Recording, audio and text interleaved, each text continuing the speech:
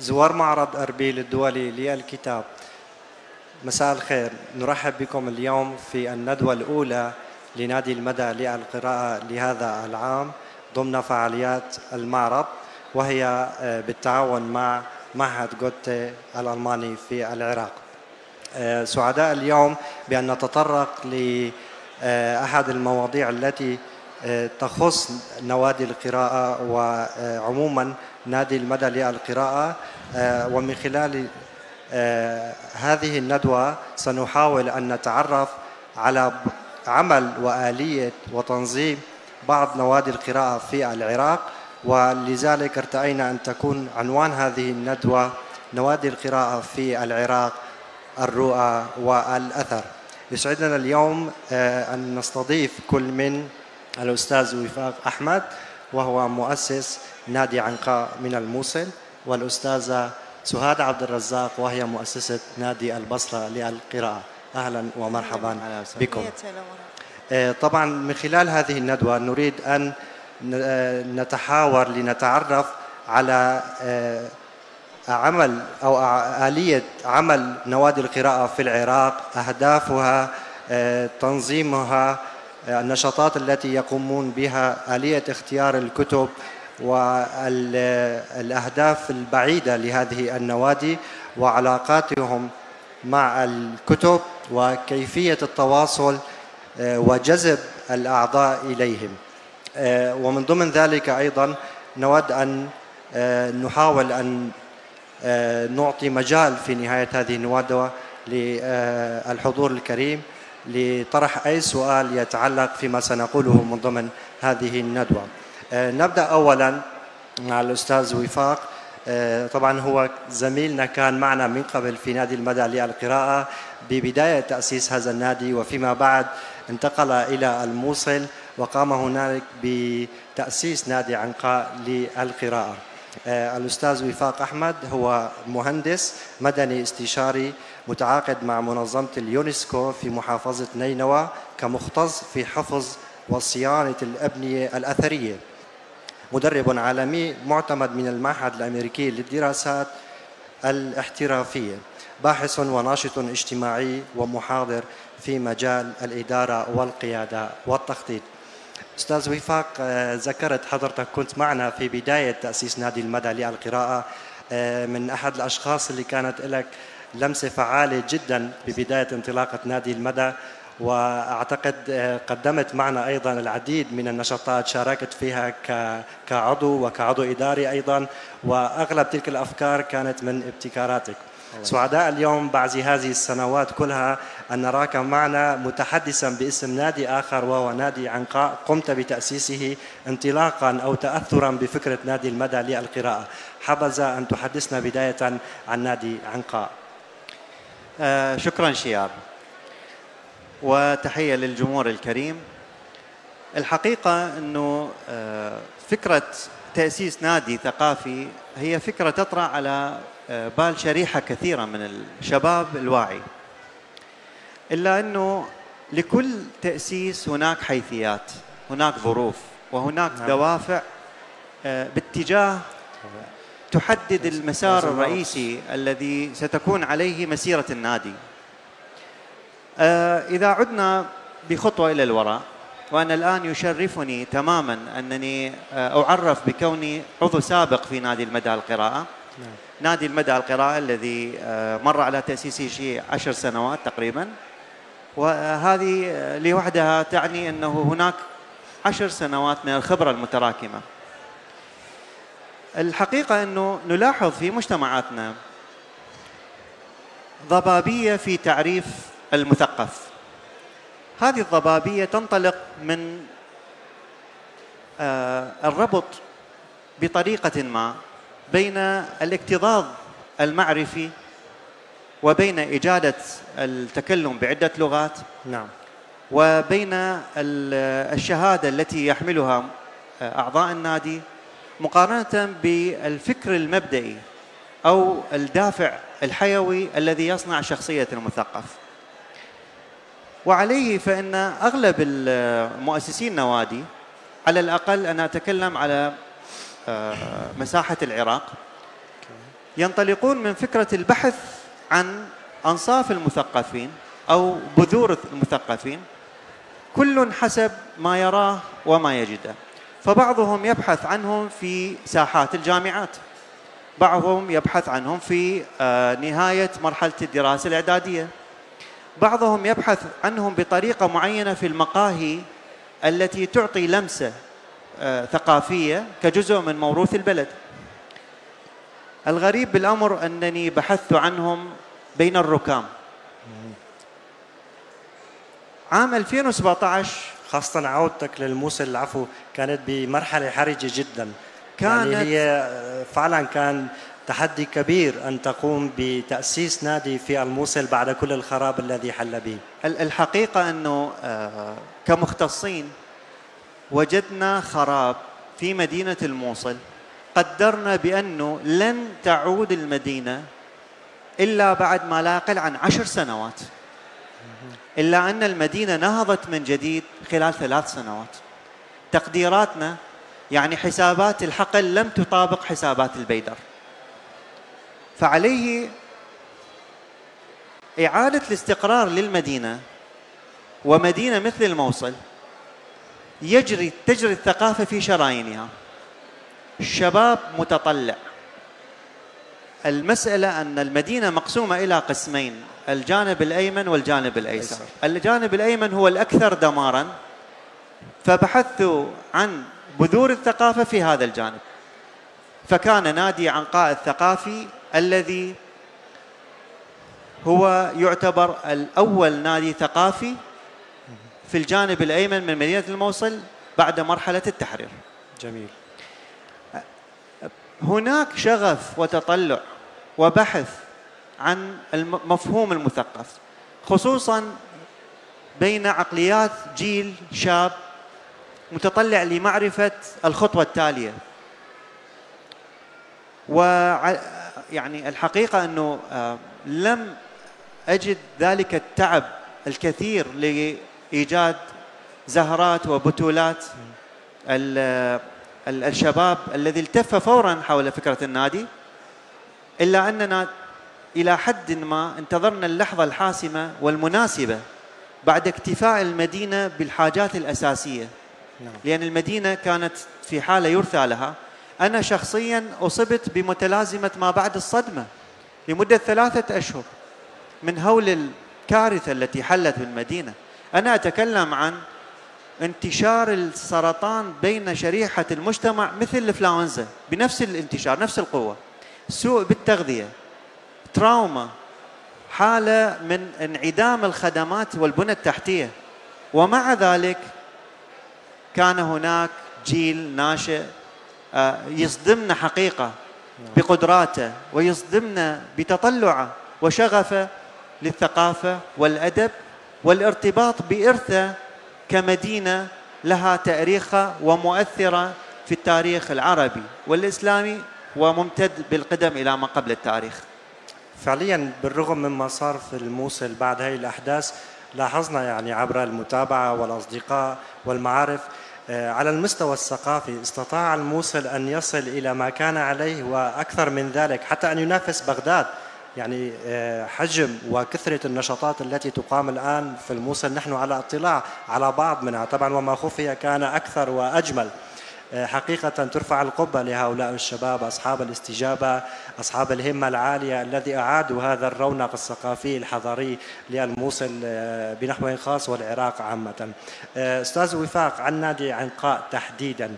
شنو هي آلية العمل عندكم؟ استجابة المثقفين أو طلاب الجامعات أو الفئة الشاب تحديدا؟ وأيضا ما هي آلية العضوية؟ لدى نادي عنقاء والنظام العام للنادي. يعني لنكن دقيقين أكثر فإن ينطلق تأثير نادي عنقاء من الاسم. أنا لم أسميه النادي بالعنقاء. نعم. لأن العراق يجب توضيح الاسم يعني بداية كان ببالي أسألك نعم نعم. الحقيقة أنه العنقاء بأل التعريف تعني أن الموصل هي المدينة الوحيدة التي نهضت إلا أن لها أخوات في العراق. أنا أتكلم عن ثلث مساحة العراق. أربع محافظات تضررت بمرحلة عام 2014 حرب كارثية. اهتز لها جبين الإنسانية والعالم. ولهذا عنقاء بشكلها المسمى بدون تحديد للتعريف تعني أن الأنباء عنقاء وأن صلاح الدين عنقاء وأن ديالى عنقاء وأن بغداد عنقاء كما أن البصرة هي عنقاء. ولهذا لن تموت فكرة الثقافة. ما زالت عنقاءات العراق تنهض من تحت الرماد. أه الحقيقة ما أخفيك تجربتنا في نادي المدى. تجربة رائعة. أنت أسست النادي مع مجموعة الشباب. تحياتي لهم من هذا المنبر. أه كل ما أعود إلى ألبوم الذكريات أجد نفحة رائعة. أه ممزوجة بأيام صعبة وتحدي وسباحة عكس التيار.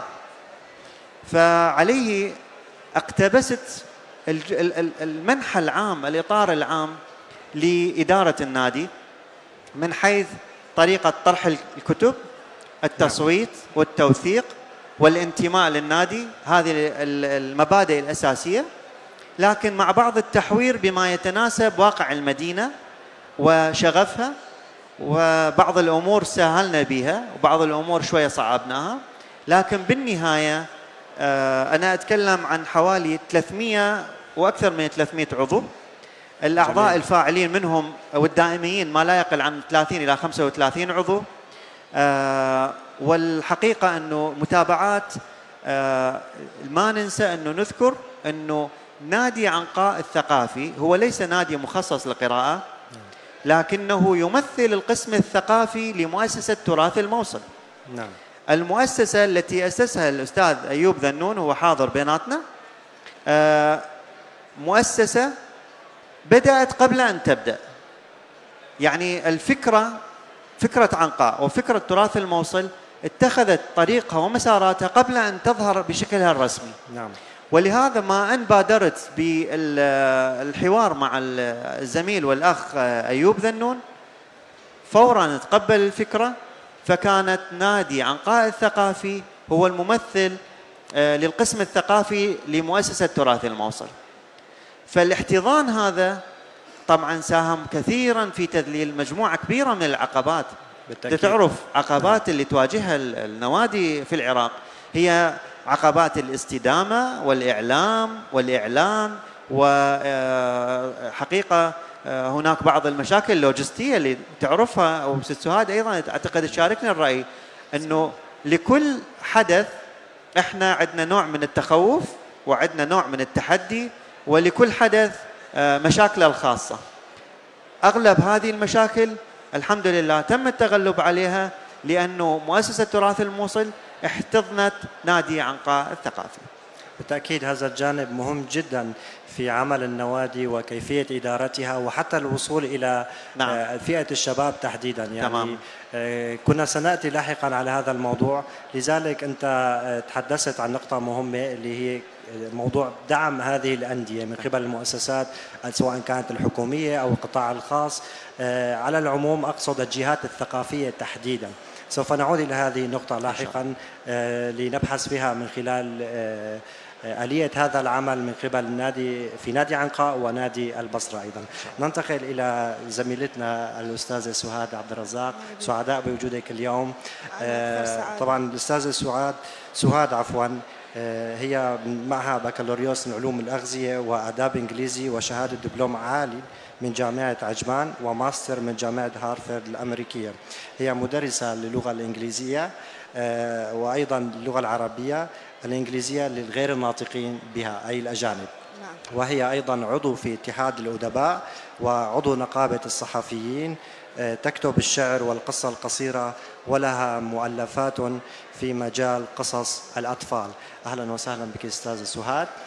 يسعدنا أن نرحب بك باسم نادي المدى ومعهد جوتي الألماني آه، نود أن نتعرف اليوم على أستاذة سهاد كأول ست في الموصل تقوم بإنشاء نادي للقراءة وأعتقد هو ليس فقط من هذه الناحية يعتبر شيء مميز بل أيضا هو ممكن القول حسب ما تواصلنا من قبل هو كان أول نادي للقراءة في البصرة. تلك المحافظة الجنوبية التي من الممكن أن نسمع عنها بأنها كانت مهمشة إلى حد ما في فترات معينة ومن الممكن القول بأن هذا التهميش مستمر إلى حد ما. لكن هذه المحاولات لإضاءة على الأقل الجوانب الثقافية في البصرة أثرت ولفتت الأنظار ثانية إلى أهمية هذه المدينة الحضارية والثقافية. نرحب بك ونود أن نتعرف على نادي البصرة. كيف تأسس وما هي العوائق التي تواجهنها كست يعني أنت تعملين في ترتيب وتنظيم هذه آه هذا النادي وهذه الفعالية الثقافية؟ آه كما كنت أعلم بأنك قمت بالموضوع لوحدك. بعدها صار في دعم وصار في تواصل وإلى الآن مستمرة وحبيت آه حابين نعرف كمان عن موضوع جدا مهم وهو التواصل مع الجامعات والمدارس وفتح فروع فيها أيضا كنادي بصرة للقراءة. تفضل. نعم. حقيقة بالبداية أنا أشكر نادي المدى جدا لسببين. أول شيء الاستضافة هذه الجميلة اللي يعني مهمة ومميزة. وأشكرهم لأن فكرة نادي القراءة في البصرة انطلقت من المدى. كان في يوم مثل هذا اليوم زرنا معرض أربيل للكتاب ورغم أن فكرة نادي القراءة هي فكرة قديمة في البصرة من أيام السياب حينما كان يلتقي مع أصدقائه في بيت الأقنام وكانوا يتحدثون ويناقشون الكتب بنفس آلية نادي القراءة إلا أنها كانت مغيبة لفترة كبيرة. وحين التقيت بالشباب الشار ومجموعة المدى حقيقة حز في نفسي أنه في البصرة لا يوجد نادي رسمي للقراءة. هناك نوادي لربما هي فرعية وغير فعالة كانت في البصرة رغم أن البصرة هي مدينة تعج بالثقافة رغم كل اللي مر على البصرة إلا أنك في كل يوم تجد آلاف الناس اللي يتعطشون للثقافة وللقراءة على وجه التحديد. ومنها انطلق نادي القراءة في البصرة. حتى أنهم قالوا لي في وقتها ما راح ينجح هذا النادي لأنه كثير من النوادي فشلت في البصرة. أنا رديت عليهم قلت لهم مو المهم الفكرة لأن الأفكار هي مرمية على الطرقات إلا أن الأهم في هذا الأمر آلية العمل. ونحن اتخذنا آلية عمل جعلت هذا النادي مستمراً. منذ 2017 لحد الآن. وأيضا نادي البصرة تميز بأمر ما أننا لا ننتمي إلى أي جهة أخرى ولا نتلقى دعم والدعم هو ذاتي. هذه كانت ميزة لنادي البصرة. كثير من المؤسسات طلبت أن ننضم إليها إلا أننا رفضنا هذا الانضمام لسبب نعتقد ولربما هذه وجهة نظرنا أنه نادي القراءة من الضروري أن يكون مستقل لا يتبع لجهة. وإن تبع لجهة ألا تسقط هذه الجهة آلياتها وأفكارها على القراءة. واستمر النادي إلى أن أصبحت هناك العديد من الفروع في نادي البصرة. نعم. الفرع الرئيس كان في البدء بالمكتبة المركزية العامة. وأنا أشكر جزيل الشكر المكتبة المركزية وهناك هدف من وجوده بالمكتبة المركزية. اشتراك هذا النادي هو أن تهدي كتابا للمكتبة التي أو للفرع الذي انتميت إليه. وبالتالي كانت مكتبة البصرة فقيرة بعد الأحداث التي مرت بعد السيدة عالية رحمة الله عليها. وبعد أحداث البصرة فأحببنا أن نحيي هذه المكتبة وبالفعل استطعنا فقط من اتحاد الأدباء وتحية لهم كثيرا أن نزود مكتبة البصرة بألف كتاب ومكتبة الموصل بألف كتاب. إضافة للكتب التي زودنا بها المكتبة والآن مكتبة البصرة هي من المكتبات المميزة. بعد أن أدينا هذا الجانب انتقلنا لتأسيس فرع رئيس وهو دار صوباط الثقافية. ودار صوباط الثقافية أخذت صدى كبير في البصرة وخارج البصرة. أيضا لدينا فرع في الكليات. هذا الفرع مقر كلية الفنون الجميلة. وطبعا إحنا في نادي القراءة في البصرة. لا نخطي أي خطوة إلا بعد دراسة طويلة وبعد استشارة طويلة ولنا رؤية في كل ما نقوم به. اخترنا كلية الفنون الجميلة لأننا باعتقادنا أن كلية الفنون الجميلة نعم. هذه الكلية آه، لابد أن آه، يلتحق بها من يكون مثقف بدرجة عالية جدا. تختلف عن الكليات الأخرى فلا تستطيع أن تقف على مسرح أو أن تؤدي أي عمل فني إلا أن كنت مثقفا. وبالتالي آه، وجدنا ضالتنا في كلية الفنون الجميلة ومنها انطلقنا إلى بقية أجزاء الكليات. بقية كليات البصرة بجميع فروعها. وأيضا كان لنا فرع وما زال في مديرية تربية البصرة. انتقل من إعدادية البصرة للبنين إلى إعدادية المشراق للبنين والآن في إعدادية الرباط للبنات. هذا الانتقال أيضا كان مدروسا ليتسنى لنا أن نلج إلى كل المدارس على اختلافها بين البنين والبنات. والفرع الآخر والأخير الذي أنشئ في آه، نادي القراءة في البصرة هو فرع اللغة الإنجليزية جميل. وفرع اللغة الإنجليزية هو فرع أعتقد أنه الوحيد في العراق من نوعه لأنه يناقش الكتب باستخدام اللغة الإنجليزية السؤال هون بس للتوضيح نعم. أكثر باستخدام اللغة فقط هي لغة إنجليزية أم يقرؤون كتب إنجليزية أيضا ويناقشونها تطرح كتب إنجليزية للمناقشة وفي بعض الأحيان تطرح كتب عربية لكننا نناقشها باستخدام اللغة الإنجليزية لماذا هذا الطرح؟ لأن نعم. آه أنت ذكرت حضرتك أنه أنا حاصلة على ماجستير من جامعة هارفرد وكان هذا جزء من رسالة الماجستير مالتي استخدام الأدب في تعليم اللغة وبالتالي إحنا استخدمنا الأدب حتى نطور لغة آه الأشخاص اللي منضمين إلنا واللي يتابعونا بشكل مستمر. آه، هذا النادي كان له صدى كلش كبير بين الشباب. كون الشباب ينحون الآن منحى اللغة الإنجليزية ويحبون هذه اللغة. آه، أردنا أن نمزج ما بين اللغتين العربية والإنجليزية. فكان لنا الكثير من الحلقات النقاشية تجمع ما بين اللغتين العربية والإنجليزية بالإضافة أن إحنا داخلنا ما بين المسرح وما بين المناقشات. فناقشنا على خشبة المسرح الكثير من المسرحيات والكثير من النصوص الفنية التي آه، من شأنها أن تثري القارئ وترفع مستوى الوعي لديه. نعم أستاذ سعاد شكرا جزيلا. آه، لفت نظري عن موضوع آه، إسلاط الضوء وتسليط الضوء من قبلكم آه، على الجامعات والمدارس كما تحدثت نعم. وكما أنت أيضا أشرت إلى ذلك من خلال الفروع الذي التي فتحتموها في هذه الكليات. السؤال هو ما هي الاستراتيجية هذا التوجه تحديدا إلى الجامعات والكليات. يعني هل الموضوع فقط عبارة عن إنه المفروض يكون في فرع في الجامعات وفرع في الكليات وفي المدارس أيضا هو فقط استهداف كتارجت كهدف كأعداد ولا في استراتيجية أعلى من هيك في تفكير للموضوع؟ آه، هل هنالك بناء على هذه الفكرة؟ نعم. إحنا أصلا من أهداف النادي مالتنا رفع مستوى الوعي في العراق.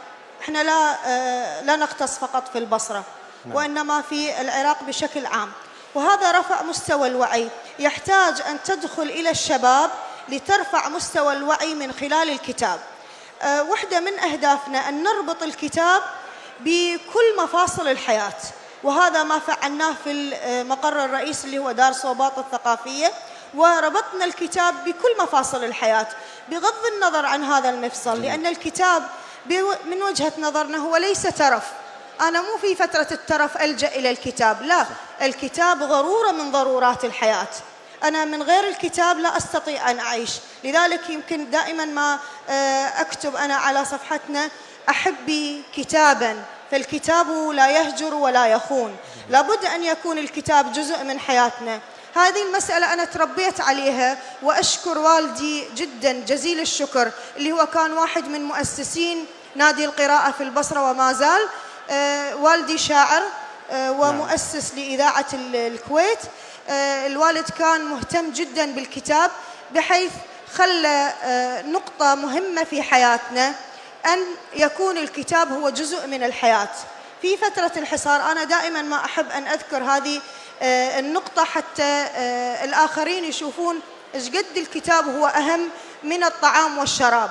في فترة الحصار كلنا إحنا تضررنا بهذه الفترة بحيث ما كان عندنا آه، أي مبلغ مادي لغير الطعام والشراب. نعم. فقط. إحنا بس اللي نجيبه هو للأكل والشرب. في يوم من الأيام أنا سألت والدي قلت له أقدر أخذ فلوس قال آه، شو تسوين بيها؟ إحنا ما عندنا بس للأكل والشرب. إذا تريد تشترين أي شيء ثاني ما عندنا آه، تاخذين فلوس تشترينه. قلت له أريد أشتري كتاب. فكان رده صادم إلي وهو اللي بقى في ذاكرتي لحد الآن. قال لي مو لازم ناكل ونشرب أخذي الفلوس وروح اشتري كتاب. هذه النقطة مهمة. لابد أن تفعل في منازلنا ما بين أبنائنا. لازم نفعل أنه الكتاب أهم من الطعام والشراب أهم من أن أشتري قميص أو أن أشتري موبايل لأن الكتاب راح يخليني شخص آه، قادر على مواجهة آه، العالم قادر أن آه، أتحدث وأن أناقش وأن أصل إلى ما أريد. هذه النقطة الأساسية اللي من خلالها انطلقنا إلى المدارس والجامعات. جميل شكرا لك. أستاذ وفاق نرجع لعندك مرة ثانية بما يخص يعني جوهر الندوة اللي اليوم نحن مجتمعين من خلالها الرؤى والأثر كنوادي القراءة في العراق. آه، في الآونة الأخيرة آه، طبعا بالبدايات آه، أنت كنت بتعرف ونحن كنا موجودين مع بعض. ممكن نحن لذلك اعتبرنا نفسنا من أول نوادي القراءة في العراق لأنه كان صعب جدا إيجاد الجروبات تقرأ كتب أو شباب مثلا مسوين تنظيم بهي الآلية وهي الطريقة التي تدار وتنظم فيها نوادي القراءة.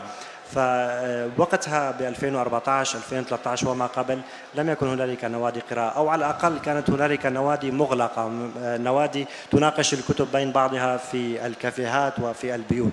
في هذه السنوات الأخيرة السنتين الأخيرتين تحديدا رأينا بأن هنالك تعدد كبير في نوادي القراءة في العراق. يعني بدنا نرى أو نسمع في كل محافظة هنالك ناديين أو ثلاث أندية للقراءة.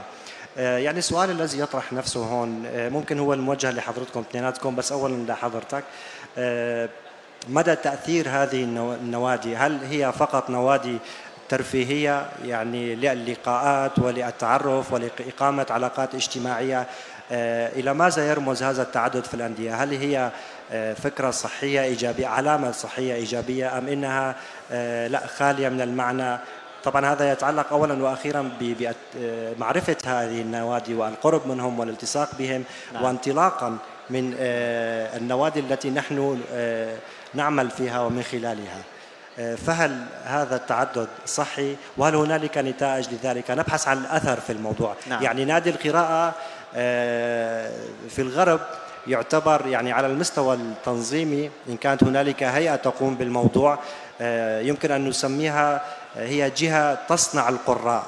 يعني مهمتها صناعة القراءة أو صناعة القراء القراء ودعم الكتب خاصة آه، الكتب الورقية. هل هذه الأمور كلها موجودة في هذه النوادي التي أنشئت في العراق وأصبحت نعم. متواجدة بكثرة؟ نعم أه الحقيقة على على السريع طبعا تجربة ست سهاد صراحة عاشت ايدش يعني تجربة آه، رائدة ومثيرة للاهتمام نعم آه، وأريد أبشرها بشرى إنه اولا أغلب النوادي تتفق على أنه إعادة روح الكتاب إلى الحياة. وهذا الكلام متفقين عليه سابقا نعم. في نادي المدى. نعم. وأعتقد هو سابقا في وقت آه، دراستي خلال الكلية أيضا كان موجود. ووالدي الله يرحمه كان يحكي لي عنه. فالعملية هي آه، وضع الكتاب في مقدمة أولويات بناء الإنسان. وهذا التوجه عالمي. هو مو توجه في العراق فقط.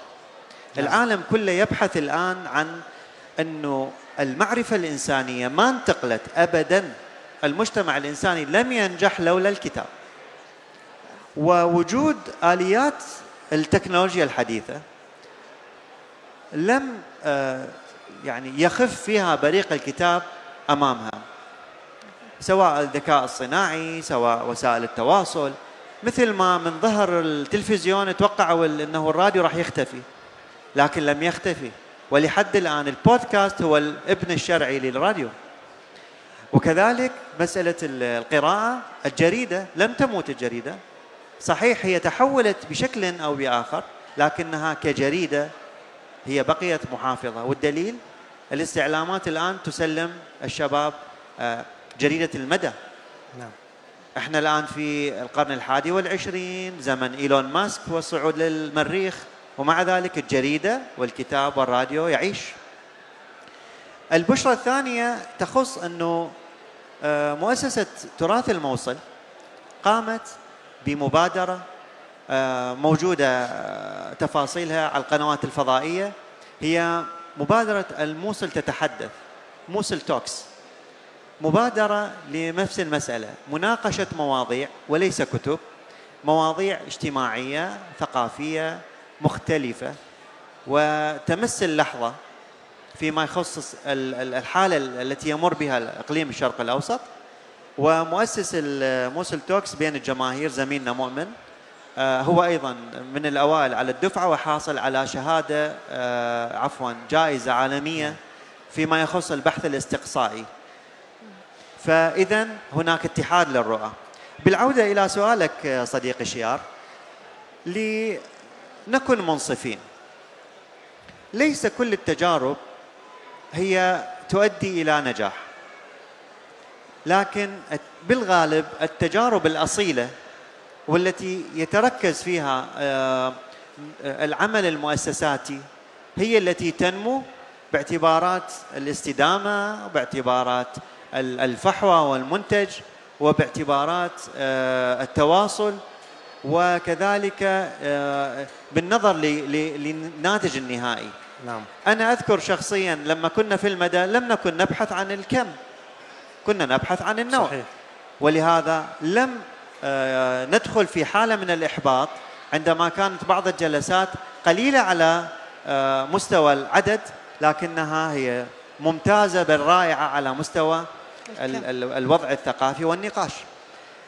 آه، شخصيا لما أسسنا نادي عنقاء كان التأسيس على مستوى يستهدف إيجاد مواهب لخمسة أشخاص فقط ونحن الآن نتكلم عن مئات. لكن ركوب أنا آسف على هذا التعبير ولنكن منصفين. ركوب موجة نوادي القراءة وهذه الحالة أنا أقرأ عنها في مصر على سبيل المثال. وأقرأ عنها أيضا في شمال العربي شمال الأفريقي آه، جزائر وتونس. نجد أنه اتجاه الشباب في هذه المرحلة يتجه إلى آه، آه، دخول نوادي القراءة. هذا الدخول قد يكون كجزء من إكمال السي في السيرة الذاتية للشخص أنه هو متطوع وهو عضو في نادي قراءة لكن أنا أجزم بأنه ليس كل النتائج عفوا ليس كل ال ال ال ال الأهداف سيتم الوصول إليها وليس كل النتائج مرضية بالنسبة للمؤسسين. نعم. ولهذا نشهد نحن ظهور آه، موجات من آه، إصدار النوادي الثقافية في العراق والمحددة تماما إلى جيل الشباب. بعضها تموت تظهر وتختفي. نعم. لكن عندما نتكلم عن آه، تجربة المدى عشر سنوات وهو مستمر كم كتاب وصلت الآن؟ حوالي 123 الآن أنا المحاور. 100 123 123 والمفروض كتاب. نحن الثلاثة نتحاور بين بعض. تمام. ال 123 كتاب كم استغرقت من جهد وكيف تجد الرصيد الثقافي عند متابعيك عند جماهيرك؟ لاحظ. اذا هي أنت تعمل على تأسيس شخصيات ثقافية. ولهذا لا يصيبنا الإحباط عندما يكون هناك إخفاق في بعض النوادي لكن الشيء الجيد والمبشر أنه جيل الشباب الذي آه، عاش مرحلة ما بعد يعني آه، بداية فترة المراهقة والانتقال إلى جيل النضوج في آه، من عام 2010 وما بعدها هو الآن يتجه إلى العمل المؤسساتي الحقيقي الذي يأخذ بنظر الاعتبار. لاحظ الاستدامة أنا كررتها الكلمة لكن هي شيء مهم. ست سؤال ست سؤال.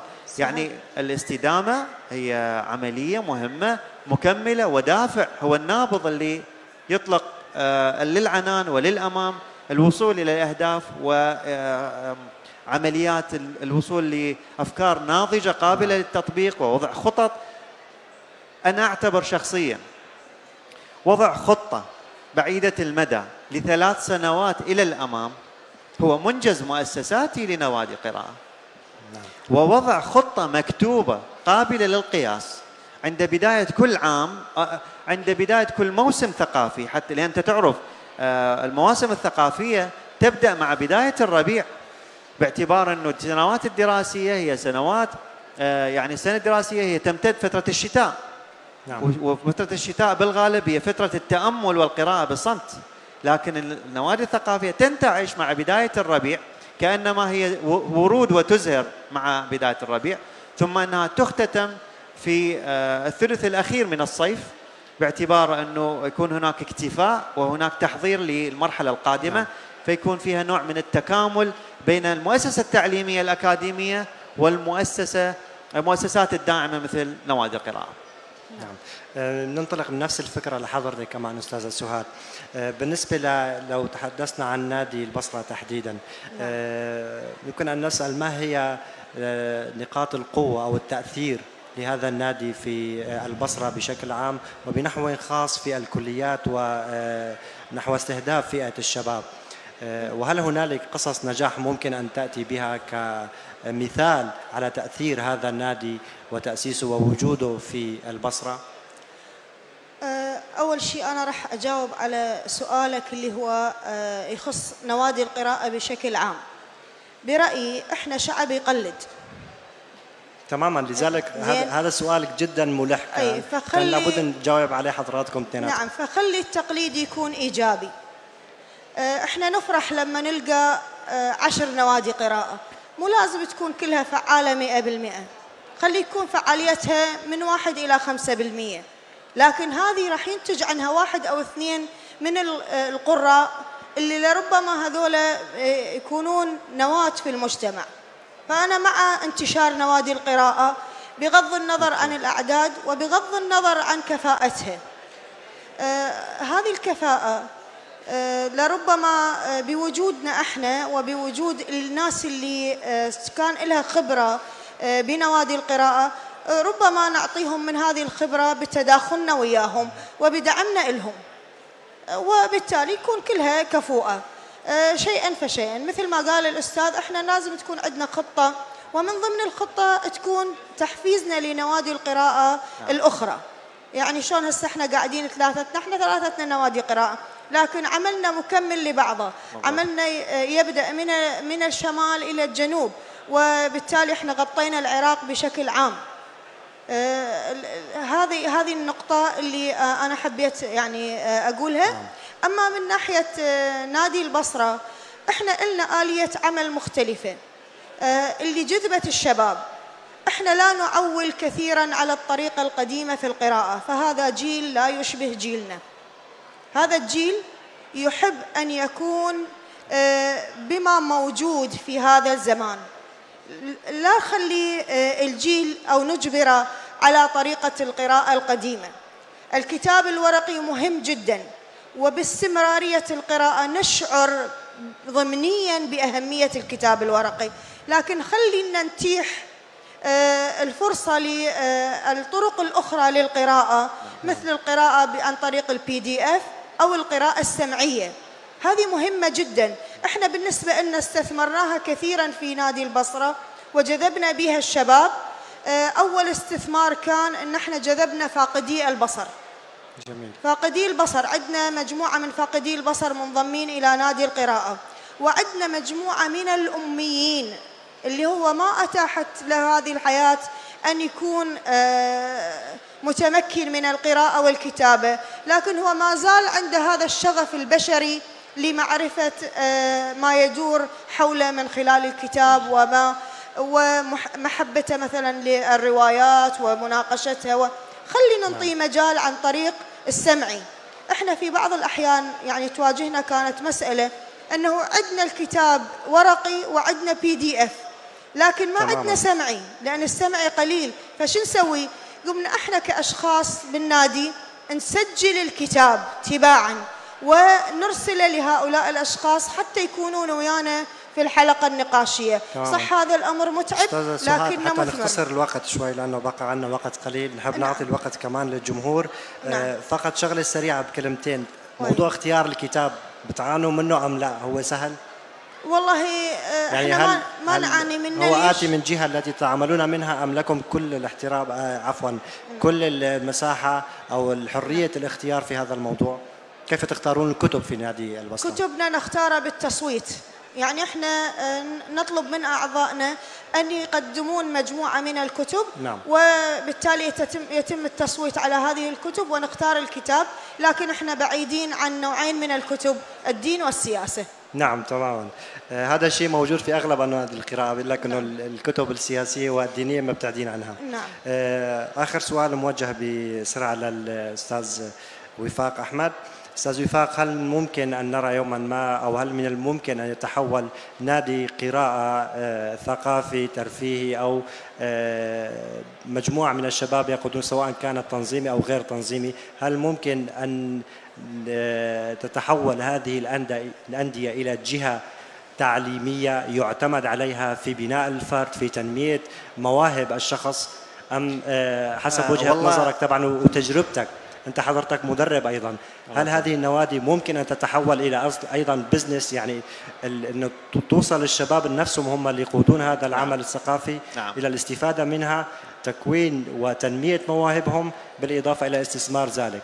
آه، بثواني قليلة آه، تعريف المثقف أو بأحرى آه، خلينا نقول أنه واجبات الطبقة المثقفة. هي زيادة مساحة الإيجابية وتقليص مساحات السلبية على كل المستويات. الوضع السياسي يعتمد عليها وضع الاقتصادي وضع الاجتماعي وضع الثقافي. فيعني ست سهاد ما شاء الله. يعني العملية إنه ما نقدر إحنا نعطي صفة المثقف لخريج بكالوريوس فقط. قد يكون ابائنا وأجدادنا كانوا مثقفين بطريقتهم. الخاصة. منزل الأقنان نعم. أحد هو يعني هو- يعود بالتالي إلى أحد أقاربي شاعر بدر السيار. وأفتخر بهذا الشيء. لكن لا أتسلق على تراث الشاعر. والمسألة الأخرى أنه آه، أقاربنا مثلوا في مسرحيات كانت في منزل الاقنان نعم. وكتبت بعض البيانات من داخل منزل الاقنان وهم كلهم طبقة نعتز بها هي طبقة فلاحية. أوكي. تمام؟ فيما يخص آه، تحويل آه، النادي نعم كأنك كنت معانا عند كتابة الأجندة. هي واحدة من التطلعات أنه لا ضير ولا عيب بل بالعكس ندعم تحويل كل المؤسسات الثقافية والحركات الثقافية إلى آه، نمط مؤسساتي عالي المستوى يعطينا آه، آه، نعم. هوية حقيقية في الهيكل وهذا التنظيمي ما نسعى للحركة إليه الثقافية. أيضا عبر نادي المدى للقراءة. آه، محاوله تحويل هذا التنظيم إلى عمل احترافي والتأثير جداً، نعم. آه، في الفرد والمجتمع تماماً. والأعضاء الذين ينضمون إلينا. آه، ناخذ سؤال واحد أو تعليق من الحضور بشكل سريع. الوقت يداهمنا. واعتذر بأنه وصلنا ل آخر فقرة. تمام. تفضلوا. أستاذ. السلام عليكم. مهندس أحمد عرفات من الموصل وأحد أعضاء آه، نادي عنقاء. بداية آه، شكرا للقائمين على معرض إربيل وشكرا لكم على هذه الجلسة الجميلة. شكرا للأساتذة وشكرا لك وشكرا للحضور. مبدئيا أنا لم ولن أندم على تلك الساعة التي تعرفت عليها على أستاذ والمدرب آه، أستاذ وفاق. أضاف لي الكثير الكثير وقصة ست سهاد أستاذة سهاد قصة. جميلة جدا. وما قاله لك والدك يجب أن يسطر أو أن يكون على الأقل عنوانا. آه، عندما دخلت نادي عنقاء أنا كنت أقرأ منذ كنت طالبا في الكلية. في المرحلة الثانية بدأت أن أقرأ. آه، من خلال المعرض اشتريت كتابا ووجدت في فطرتي أن أقرأ آه، واستمريت على القراءة. لكن كانت هذه القراءة بعقل دون هداية. الهداية أقصد ب- بكلمة الهداية هداية نحو اختيار الكتاب. واستمريت على هذا الحال أن أقرأ أقرأ دون معرفة باختيار اختيار العناوين. انضممت إلى سمعت عن طريق نعم. مؤسسة أستاذ تراث. بس ممكن تحديد السؤال حتى نرد عليه. انضممت على بعدنا على الهواء تفضل. طيب. آه عن طريق مؤسسة تراث الموصل إلى النادي. وكان آه والعقل دون هداية آه يعني كالفرس ال- الغير منضب. عقلك الذي يقودك لا أنت تقود عقلك نحو الطريق السليم. سؤالي لست سهاد هل هنالك خطة مستقبلية لوضع نوادي في العراق نادي عنقاء ونادي في البصرة ضمن دائرة معينة للالتقاء أو للتعارف لتبادل الثقافات فيما بينهم أو حتى تبادل التجارب؟ هذا سؤالي لك. والله آه شكرا جزيلا أول شيء لك وتواجدك وسؤالك.